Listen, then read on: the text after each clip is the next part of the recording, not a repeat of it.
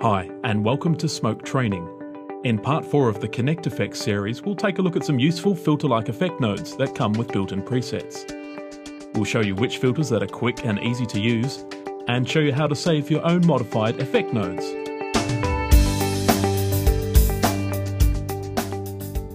Quite often in FCP7, when enhancing your edit, you will add video filters that would help you quickly create a stylized look you would either use some of the built-in FCP effects or maybe you have installed a number of extra third-party filters. Inside of ConnectFX, Smoke 2013 has a number of effect nodes that include hundreds of effect presets that can be quickly applied and modified to suit. Let's start by taking a shot into ConnectFX. Select the shot and hit Ctrl Tab to bring up the Effect Chooser bar. Click Create ConnectFX. To quickly find an effect node, hover your cursor over the main node bin and press a letter on the keyboard that corresponds to a node name. For example, we'll add the damage effect node, so press the letter D. You'll notice that all effect nodes that start with the letter D are now highlighted, making it easier to visually locate a particular node. Click on the damage node and drop it onto the connection line between your source footage and the ConnectFX output node. Now click on the damage node so that we see the effect parameters for the node and the area at the bottom of the screen. After applying the damage node, there will be no visible changes to your shot. This node includes three different types of damage that can be applied to your pictures digital, analog, or film. After choosing a damage type, many different parameters are shown here on the right which allow you to configure the effect exactly as you choose. That's great, but we want an even faster way. Here, above the effect parameters is a preset menu. By clicking on the drop down arrow, we can see there are a number of built in effect presets. Choose a preset from the list, then click Confirm to load. Now that's a much quicker way to get you up and running fast. However, by choosing a preset from the list, it's hard to determine what they might actually look like. Instead of clicking on the drop down arrow, click on the preset button instead. This loads the preset browser which gives you an idea of what the effect will look like. Here on the left are three different damage categories. You click on a damage type to explore the included presets. Let's click on the film category. The available presets are displayed on the right hand side. If you see text names instead of thumbnails previewing the effect, head to the top left of the preset file browser and click the button so that it changes to proxies. Now we can see thumbnails that represent the different effects.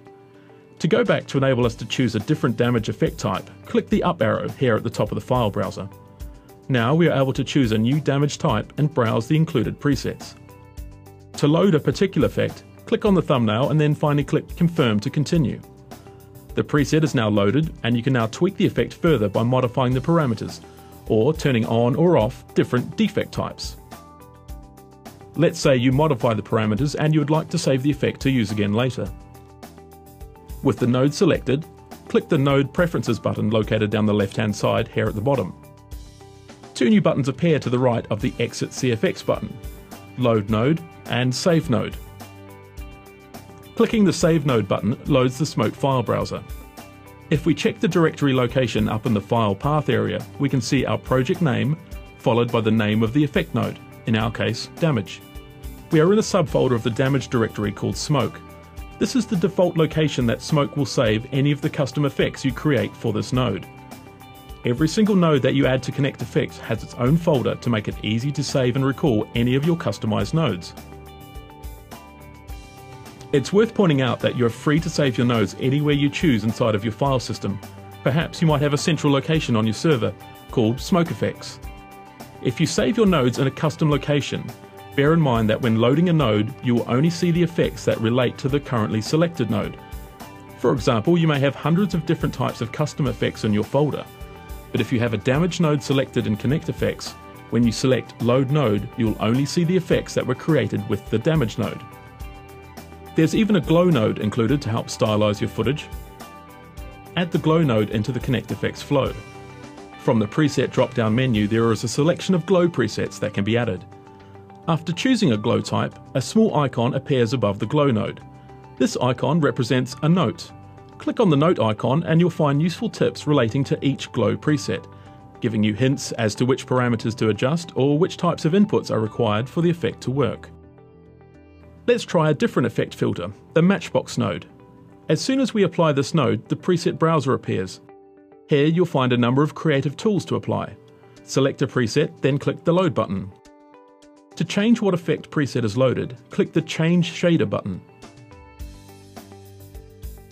There's also an effect node that looks very similar to the overdrive filter in FCP7.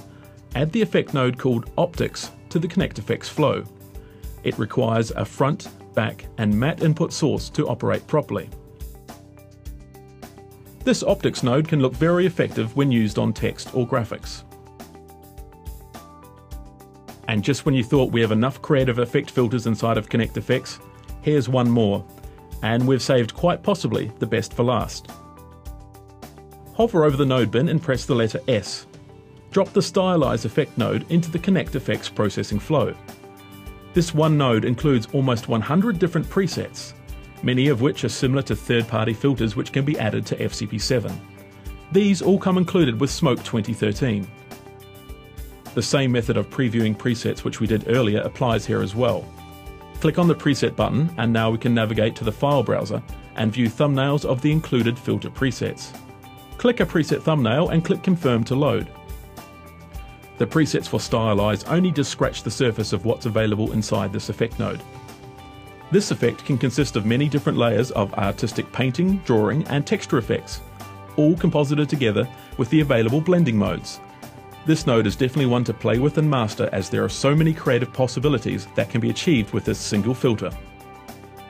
As you can see, there are loads of creative filter type effects available to you in ConnectFX, they all include effect presets to help you achieve a particular look for your edit very quickly.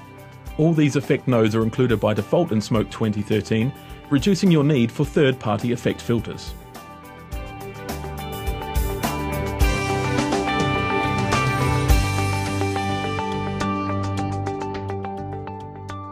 That brings to a close part 4 of this series introducing Smoke 2013's visual effects compositing environment, ConnectFX. Thank you for watching. In our next episode, we'll walk through the process of building a simple composite inside of ConnectFX.